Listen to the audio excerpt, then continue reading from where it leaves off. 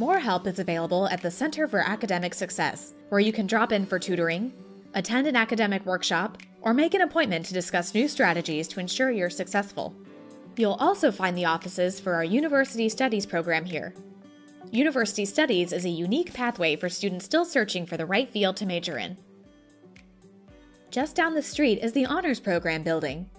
In Honors, students get specialized academic advising on research, preparing for grad school, academic travel, and even prestigious scholarships like the Gates, Cambridge, and Fulbright scholarships.